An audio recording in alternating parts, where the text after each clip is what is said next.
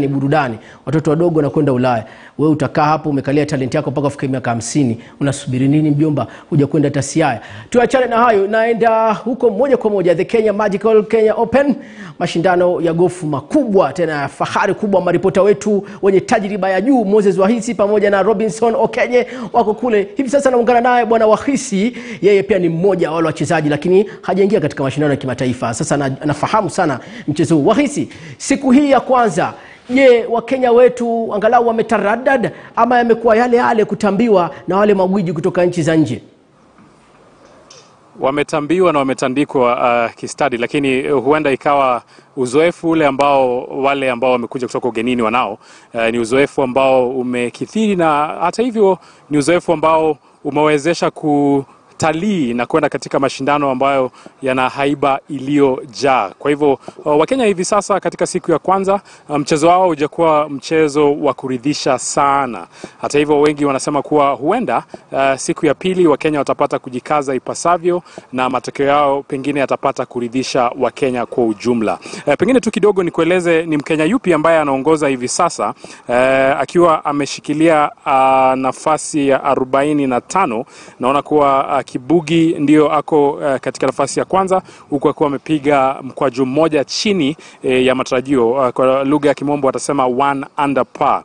Alafu ukiona uh, Greg Snow, Greg Snow naye eh, pamoja wakiwa na Balala eh, wako katika uh, pa wamesawazisha mikwaju hivi sasa, na Wakenya wengine ambao wamepata kucheza leo hii Obura akiwa uh, na mkwajo mmoja zaidi ya matarajio uh, tunaona pale pia Lejirma akiwa na moja zaidi ya matarajio. Naona Medirata akiwa amezidisha uh, mikwaju miwili naona pia Chege amezidisha mikwaju tatu Karanga naye akazidisha mikwajo nne.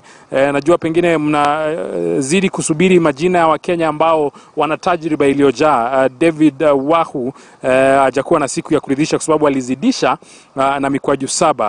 Uh, Nduva naye akazidisha na mikwaju saba. Uh, kwa hivyo uh, ukiangalia kuwa uh, Wakenya hivi leo michezo yao haijapata kuridhisha sana, lakini upinzani ni mkali. Upinzani ni upinzani ambao ulitarajiwa na Wakenya wanasema kuwa uh, huenda mchezo huu vile ambavyo ililetwa katika uwanja wa mudhaiga pengine eh, matarajio yote yanapata kukuwa uh, na vikwazo na vikwazo hivyo ni vikwazo ambao uh, daima watajaribu kwa vyovyote vile kuona iwapo watapata kustahimili na pengine wapate kuandikisha matokeo ambao yatang'aa na matokeo ambao yatafaa.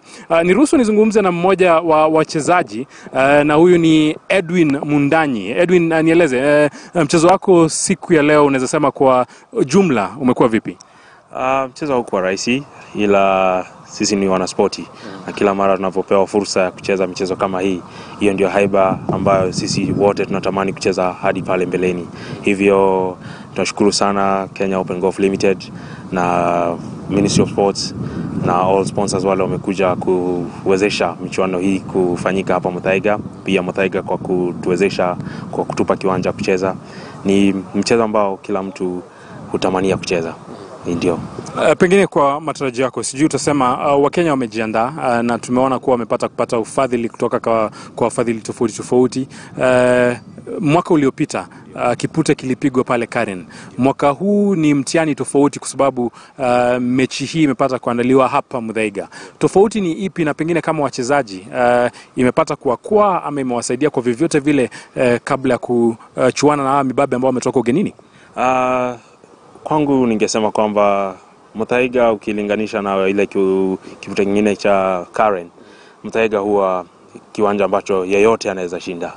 Yule ambaye anaweza kujipanga katika mchezo wake ye, anaweza ibuka mshindi. Hivyo katika raundi ya kwanza na raundi ya pili, ukiwa katika ile tunasema cutline kwa kimombo, ukiwa hapo ndani, hizo raundi zingine za tatu na za nne ukicheza vizuri bado unakuanga na nafasi, kwa sababu hiki kiwanja kinaitwa home of golf, kwa sababu design yake vile ilivyo huwa linapatia yoyote yule anayecheza vizuri kwa siku kuwa mwenyewe siku ya hiyo siku amecheza vyema, ndio. Uh, pengine tofauti ni nini ukilinganisha wa Kenya uh, mchezo wa Kenya na mchezo wa uh, hawa uh, mibabe ambao wametoka ugenini? Unaweza sema Kenya walijiandaa ipasavyo, kwa sababu ukilinganisha na wageni uh, wengi wao wamekuwa katika huu msururu uh, wa European tour na wamepata kutalii uh, nchi tofauti tofauti na wakanoa makali yao. Pengine Kenya tunastahili kufanya zaidi, ama yale ambayo tunafanya tunasema hivi sasa yanaridhisha?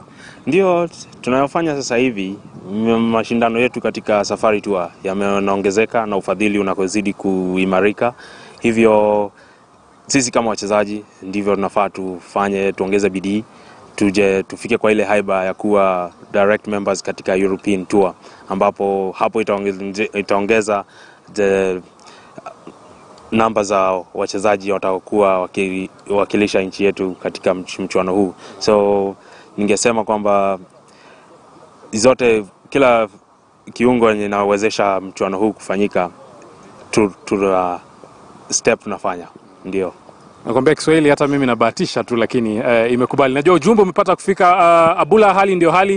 Uh, Bahaj, kunradhi, Abula yuko hapa. Najua tumekuwa tukizungumza zungumza na yeye kwa muda uh, kwa hiyo kwa akili eh, kidogo jina yake inapata uh, kuwa hapa hivi katika mdomo wangu, lakini uh, Bahaj, hali ndio hali, na najua wengi sana wanataraji kuona uh, ni yepi kikosi cha Kenya kitapata kufanya, lakini uh, pengine tukienda kesho, najua matarajio itakuwa ni Wakenya wapate kuridhisha. Hivi sasa siku ya kwanza peupe Wakenya wajaridhisha, lakini uh, siku ya Ijumaa uh, pengine kutakuwa na Mkenya ambaye atapata kuonyesha upinzani ambao uh, unastahili na huenda uh, tukasema pengine kutakuwa na Wakenya kadhaa ambao watapata uh, kufuzu na kuwa katika ile uh, ambao wameita projected cut, uh, wale Wakenya ambao watakubaliwa kucheza katika uh, siku mbili za mwisho uh, katika kipute hiki cha Magical Kenya Open. Haya, asante sana mwenzangu Wahisi. Wanasema Waswahili, heri kuteleza mguu kuliko kuteleza ulimi. Umeniita Abula na mimi ni Bahaja, wala haidhuru, ni kakaangu ule, tena tumefanana sote vifupi